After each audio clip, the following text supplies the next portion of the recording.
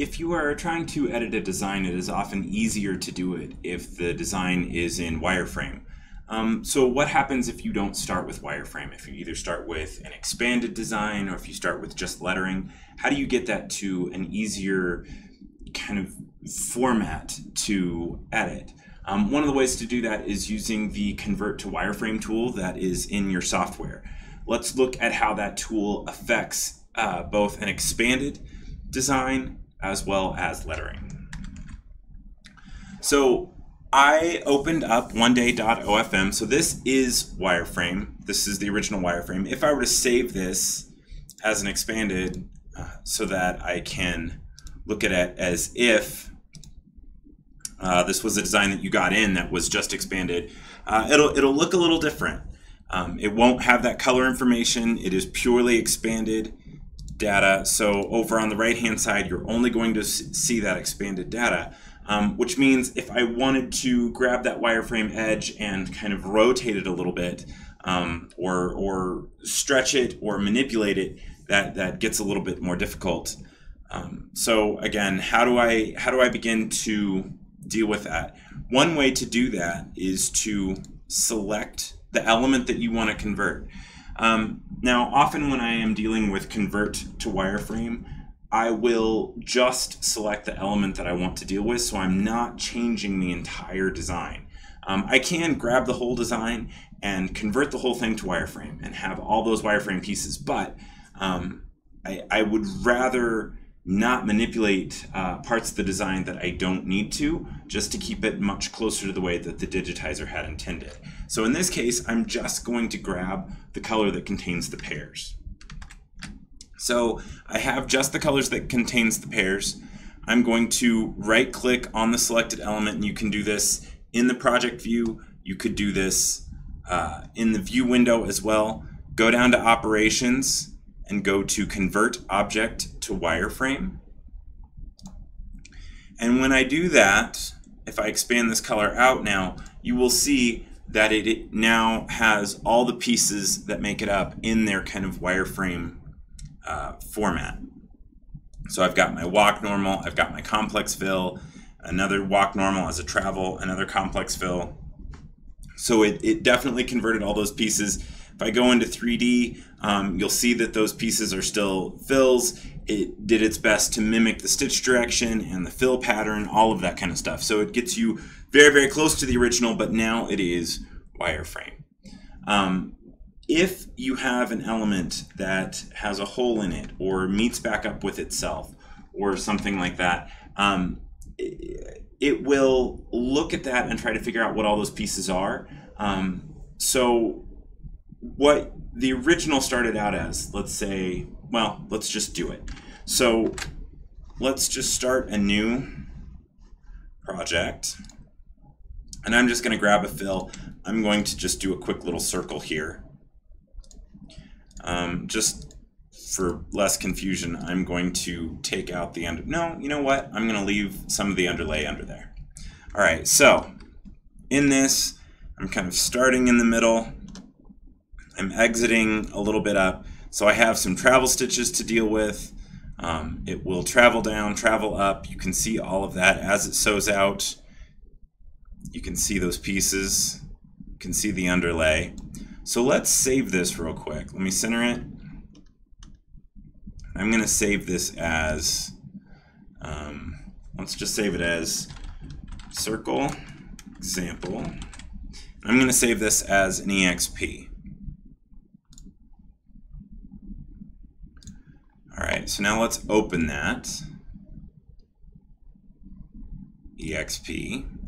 I'm going to select it. I'm just going to copy it and put it in the project that we were just working with. When I copy and paste, uh, all my X Y locations line up exactly. I'm just going to move this over to the side so that we can see it a little bit better. So in the wireframe data, we have the first one that we did, which is just a complex fill with the entry and exit point. The second one that we did, which is expanded data, and if I if I slow redraw it, you can see that it has kind of all the same. It, it works the same way. But if I right click, go to operations, and convert this object to wireframe, instead of just being a simple circle, it now has this walk normal. So it, it looked at the underlay and it didn't really see it as a loose fill. It saw it as just walk stitches. So now that's just a walk stitch. Then it has this half of the fill. Then it's got the travel stitch, which it sees as a walk stitch. And then it's got the second half of the fill. And then it's got the jump stitch, which is just uh, a machine movement back to zero or back to center. Um, let me just delete that. So that's, you've got what was just one wireframe element, you now have four to deal with. So when you're converting to wireframe, um, how the digitizer saw it is not necessarily how converting it to wireframe will get it converting it to wireframe will not necessarily get it back to the way the digitizer had intended. Um, it will get you pieces that you can edit. In fact, you could take these pieces, combine them back together, and get very, very close to the original. Um, but just keep in mind when you're converting things like that, it, it starts to kind of change how things work. But at least you can edit it. Okay, so let's look at what uh, converting to wireframe does to lettering. So I'm going to do, uh, let's just do an L and a B. This is something we've done many, many times in, in education videos here at Melco. Um, this time I'm going to do, I think Clarendon. There we go.